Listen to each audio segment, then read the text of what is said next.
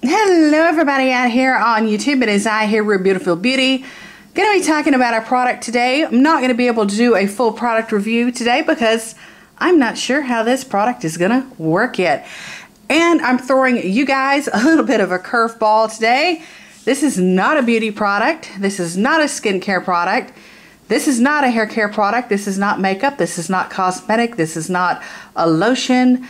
Uh, this is not laser hair removal. This is not electrolysis. This is not a food product review. This is nothing that I normally talk about. okay, but it is what it is. I'm here talking about it. Okay, so I just got this. I bought this from Amazon. I believe I paid like 14 or $15 for it, something like that. Just got it in the mail today. I'm super excited. Glad I bought it. I hope it works. Hopefully the name is a little explanatory. Oh, you know what I mean? Okay, so this is called Grandpa Gus's Potent Rodent Repellent for ri rice. for rice. Not rice. For mice and rats. Pardon me, guys. I just woke up. I am tired. I need to go back to bed. But anyhow, this is Grandpa Gus's Potent Rodent Repellent for mice and rats.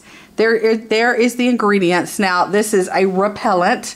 This does not kill, so this is not uh, bait. This is not poison.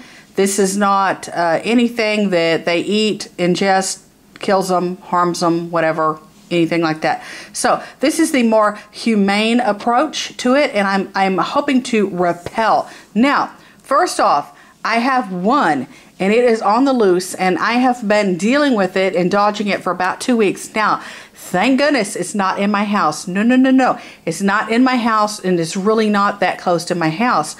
Where it, I believe it's a she. I don't know why I want to call it a she. Maybe it's a he, who knows. I call it she. She is located um, outside, out in my backyard, uh, in my storage barn. Okay, so you got my swimming pool on one side of the yard, and then you have my storage barn on the other side of the yard and my storage barn you know it's it houses my lawn equipment my lawnmower my my leaf blower my weed whacker my whatever and some other boxes of junk so that's the issue I'm dealing with now I have a big huge beautiful red Doberman pinscher who is none other than my beautiful beauty assistant and he totally owns that yard. So we just simply cannot have a mouse setting up shop playing hotel in my backyard because a Doberman Pinscher is a, a chaser. It is a very fast dog. It runs up to 45 miles per hour. It chases rats. It chases rodents. Uh, he chases squirrels, but he's not too particular with squirrels. He'll let a squirrel slide, but he is a rat chaser. Oh my. And oh yeah, if you have a um, Manchester Terrier dog, That is a rat expert. So, you know, anyhow, other words, I gotta get it out of here, gotta get it away, gotta get it out of my yard, gotta get it away from my Doberman, my beautiful beauty assistant, gotta get it away from me because you never know, you know. And yet, I do not want to use a trap. I don't want to use a traditional trap. I don't want to use an electric trap to electrocute it. Uh, I just don't feel like breaking its neck. I don't feel like electrocuting it. I don't feel like poisoning it. Poisoning it. I don't feel like giving it internal bleeding. And dropping dead in front of me or whatever. You know what I mean? So I'm trying this approach.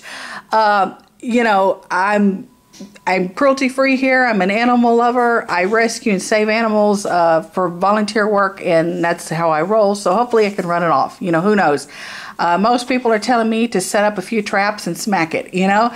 Uh, and a lot of people do set up a few traps and smack it, but I guess I'm not the trap setting, bait poisoning, smack it kind. Okay, so I'm hoping this works. That's ingredients. I think I already showed you this initially. Uh, looks like it has peppermint oil, cinnamon oil, has uh, water in it. And let's see what else. Okay, it says it has 50% active ingredients. Hydro water mix allows more peppermint repellent power. Cinnamon sting per prevents rodents from chewing. Okay, so cinnamon oil, obviously, and peppermint oil, they just don't want to hang around it. They don't like the smell of it. Apparently, it says it deters rodents from entering, leaves a fresh scent, made in the USA. Ooh, It's got the American flag on there. Okay, so yeah, buy American. Uh, anyways, hopefully this works. Shake well before using. There's the directions. And let me know, let me know you guys, have you used this? Does it work? This is what it looks like. Have you used it? Does it work? Does it not work? What, you know, how often do you really have to do this? Is this a daily thing? You know, I'm thinking it probably is. Okay, so it says it can be used in stored vehicles, machinery, a home or cabin, a shop, which basically I have a barn, so yeah, a shop, um, an RV, or a boat. Does it say boat storage? Boat or car storage. Okay. Um, yeah, so hopefully it works. I guess I'm going to go test this out now. I will probably be back on here to give you a final, like a final updated like review, you know, like I'm going to let you know, did it work? You know, I'm even going to probably set up cameras tonight because, you know, uh, rats are nocturnal. They come out at night. Mine comes out at night in my yard and it has a party. It is having a luau back there. It is having an old-fashioned smackdown party. I don't know. It's chasing its tail. It's partying. It's going all over the place. And um, probably going to set up the camera tonight and see if I can catch some activity. Uh, hopefully I won't catch activity because after I spray or do what I need to do with this, hopefully I'm not going to catch any activity on film. So hopefully I'll be coming back online within a week or two telling you guys, oh gosh, this is this is really good stuff. This is so humane. I didn't have to kill it. I didn't have to smack it. I didn't have to electrocute it. I didn't have to bait it or poison it. I didn't have to break the poor thing's neck. You know, I mean, all that sarcasm and everything, but I'm, I'm really being serious, you know. So I'm trying to do the humane approach. I don't know. I'm new to this, guys. I've never had a rat issue or a rodent problem ever in my life. Um, it, even I've lived a lot of in a lot of states. I've owned a lot of houses. I've owned condos, apartments, and I've never had an issue. This one is just it's out there and it's uh, not going anywhere. You know what I mean? And I just want to make it go. You know, my neighbor's yard might be a lot more quiet, a lot more appealing. So it's like go that direction. You know what I mean? But uh, anyhow, so we'll see how this works. Wish me luck. Let me know. Have you used it? Does it work? Does it not work? What's your experience with it? You have any tips, tricks of the trade? Tips, tips, tips, tips, tips. Give me tips. Uh, what do you like to do for humane repellent for mousies and rats and, you know, all that good stuff. So yeah, let me know how you run the rodents off Love to hear it.